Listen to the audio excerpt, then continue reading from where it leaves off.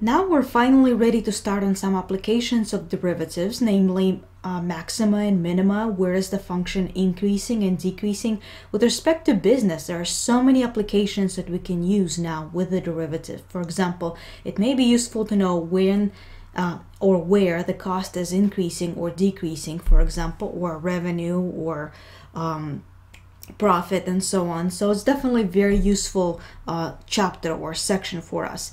Uh, let's explore or review a little bit from college algebra. When is the function increasing? Again, we uh, read from left to right. Uh, don't let the y confuse you. Basically, if the two f of x is less than f of y, the two y values, if x is less than y. So again, this y is sort of like an x value, so do not let that confuse you. Uh, but basically, um, if one x is less than the other one, then the y's would be less also. So it's growing uh, over time. When it's decreasing, the opposite is the true. Um, so uh, the y's are actually decreasing as x are increasing. Okay, so let's take a look further. So with the use of derivatives, we can easily find intervals where the function is increasing or decreasing because when it's increasing, the slope of tangent line would be positive. Notice, see how you have the function growing. At any point, the slope of the tangent line would be positive or going in the positive direction. Uh, same thing, so you can be growing this way or you can be growing the other way, the second example here, uh, but still the slope of the tangent line is positive. Or if the function is decreasing, notice how I have a couple of possible examples, uh, but then the slope would be negative, okay? Uh, we can also find maximum and minimum values, which we'll explore uh, definitely in the next section. What's happening at the maximum value, for example, or minimum. Uh, then the slope of the tangent line would possibly be zero. Notice how it looks like uh, it's a horizontal line. Recall how we used to find uh, values where the slope of tangent line is uh, horizontal, or actually the line is horizontal, or the slope is zero. It's the same kind of idea here. Or you can also have a maximum or a minimum, which is a sharp point, sort of looks like an absolute value or like the sharp cusp points, if you recall. Uh, recall that the slope of tangent line can also be vertical, but you can still have a maximum or possibly a minimum at those values. So the slope of tangent line could be zero or undefined at those values. Um, but the idea is the slope is undefined, but the original f of x has to be defined at that point. You have to have a y value in order to have a maximum or a minimum. So these are numbers that are special numbers. we have a special name for them. We're going to call them critical numbers.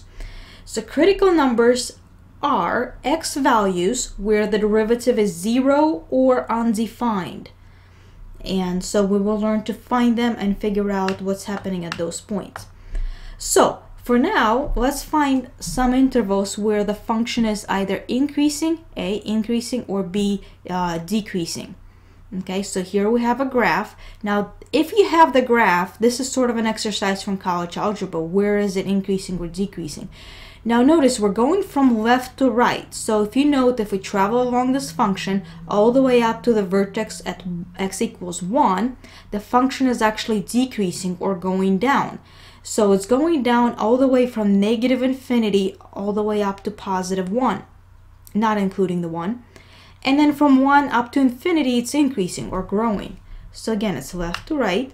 So let's notice, yep, it's uh, increasing from negative infinity to 1. Oh, sorry, actually, I think it should be the other way around. This should be reversed, yep um, it was increasing from 1 to infinity uh, and decreasing. So uh, let me switch this. Increasing from 1 to infinity or decreasing from negative infinity to 1 so sorry about that. Uh, but yeah we double check on that. Um, on uh, all the way up to 1 the function is decreasing. And basically just switch them around. Okay now, if the function in number one was a function of the derivative f prime of x instead of f of x, now that's a more challenging problem. Find open intervals where f of x is a increasing and b decreasing. So again, um, let's go back and look at the graph. Um, so if we had the graph of a derivative as opposed to, so if this was, let me write this, if this was f prime of x as opposed to the original function, how would we know where the original function is increasing or decreasing? Well, if you recall, where the function is increasing, the slope of tangent line is positive. So it really amounts to see where is the y positive on the graph of f prime of x. Where is it positive? Well, it's positive anywhere where it's above x-axis. Where is it above x-axis? Well, in a couple of intervals. From negative infinity looks like to negative 1, where the first zero occurs, and also from 3 to infinity, uh, the graph is above x-axis, which means it's positive. Uh, so f prime of x is positive, and where it's positive, the original f of x is increasing. Where is it decreasing? It's where the f prime of x is negative. So notice it's negative from negative 1 to 3. Uh, so that means the original f of x, even though we don't know what the graph looks like, it's probably some cubic function. We'll learn how to actually uh, construct graphs from the derivatives later. Uh, but yes, it's negative from negative 1 to 3, so that's where it's decreasing. Let's take a look at the answers. So f of x is increasing. Remember how we said negative infinity to negative 1, the first 0, and then from 3 to infinity, the second 0. This is where f prime of x is positive or above x-axis. And f of x is decreasing on negative 1 to 3 where f prime of x is negative or below x-axis. So you have to think about this a little bit or put the concepts together or maybe pause the video and think about this. Okay, so let's moving on. Now let's do some problems with equations. Um, what we're going to do for quite a few problems is A, find critical numbers, B, open intervals where f of x is increasing and open intervals where f of x is decreasing for part C. So if we had a function with some decimals, 2.3 plus 3.4x minus 1.2x squared, to find critical numbers, the process is always the same. Find the derivative, f prime of x, and set it equal to 0 and solve. Also state any x values where it may be undefined. That usually doesn't happen unless we have fractions or radicals um, but we still need to think about that a little bit. Okay, so let's take the derivative. So derivative is um, 3.4 because 2.3 goes away, it's a constant, minus 1.2 times 2, that's 2.4x. Notice how we set it equal to 0. By the way, this f prime of x is always defined because it's a line. You can plug in any x. There is no denominators, nothing to worry about.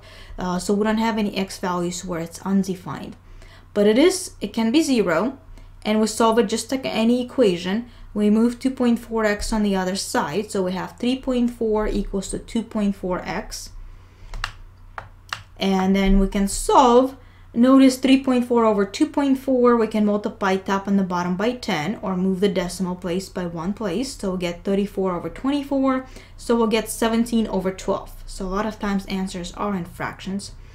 And Remember how we also said f prime of x is always defined. It's a polynomial. So we don't have to worry about polynomials as much. Okay, so how do we find where it's increasing or decreasing without graphing? Well, this is the process we're going to use actually in the next section too. So we're going to really get used to it. If we plot 17 over 12 on the number line, really anywhere on the number line, so this is considered a number line, and this breaks up a number line in a couple of intervals where the function may possibly be increasing or decreasing. So here is what I usually do. I pick any test point. I just randomly pick 0 just because it happened to be uh, easier and it's definitely less than 17 over 12. And then I happen to pick 2 to the right of 17 over 12 because 17 over 12 is not quite 2. That would have been 24 over 12. Um, so it's definitely less than 2. So then I take 0 and I plug in into f prime of x. Recall how f prime of x was uh, 3.4 minus 2.4x. Well, if we plug in 0, we're going to get 3.4. Namely, it's positive, so I'm going to put a plus. Uh, so if it's positive for one test point, it's going to be positive everywhere because really it's only 0 at 17 over 12. Now, same thing we can do with 2. If I plug in 2 into the derivative, we'll get something larger than 4. So 3.4 minus 4 something, 4.8 actually, we're going to get negative. That's why I put a minus sign. So wherever the derivative is positive, the function is increasing. Wherever it's negative, the function is decreasing. If we just write those intervals, we'll be done with the problem. And notice how f of x is increasing all the way from negative infinity. Let me actually write that. Uh, so we always go in order on the number line. So it's from negative infinity to positive infinity. So it's from negative infinity to 17 over 12, not including that. That's an open interval. And then f of x is decreasing on 17 over 12 up to positive infinity. And that's how we do many of the problems very similarly, okay? Uh, same kind of problem, uh, but we have a different function. We need to find critical numbers and also intervals where f of x is increasing or decreasing. So same idea, we find the derivative uh, by using the power rule. It is always defined, notice how I noted that, but set it equal to zero. A lot of times, if this is a quadratic, possibly we can factor. Uh, if you cannot factor, use quadratic formula, which shows up a lot. Maybe we'll see that a little bit later. So notice you can pull out a 6, I believe, make this a lot easier. So we'll get 2x squared minus 5x minus 12. And notice you can factor. Uh, you can pick a couple of combinations, but we got 2x plus 3 times x minus 4. Notice how I kept the 6 because we're going to need this later. But 2x plus 3 equals 0 or x minus 4 equals 0. We're going to get a couple of critical numbers here, negative 3 over 2 and 4. So again, uh, I'm going to plot them on the number line. Negative 3 over 2 comes first, and then 4. And now we get three intervals. We usually get one more than um, number of critical numbers. And I pick a couple uh, test points. I pick negative 2, 0, and 5. Again, anything that's easy. And we plug in into the derivative before it's 0. Um, so keep in mind, I, I actually like the uh, factored version because it makes it really easy uh, to see if it's positive or negative. So I'm going to keep the factored version. 2x uh, plus 3 times x minus 4. So again, we're plugging into the derivative. So if we plug in negative 2, negative 2 in the first factor is going to give us negative 4 plus 3, that's a negative, and then negative 2 minus 4, that's a negative, and then the product is going to give us positive. This is how I get positive. So write it out if you really need to. So x equals to negative 2, so you're going to get uh, negative, negative, and then the 6 was positive, so the product is going to give you positive, okay? Uh, so this is the times.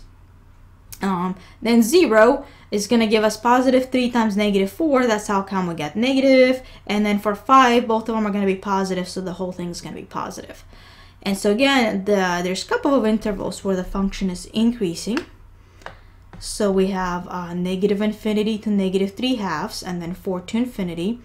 And then uh, f of x is decreasing between negative 3 over 2 and 4. That's how we do that problem okay?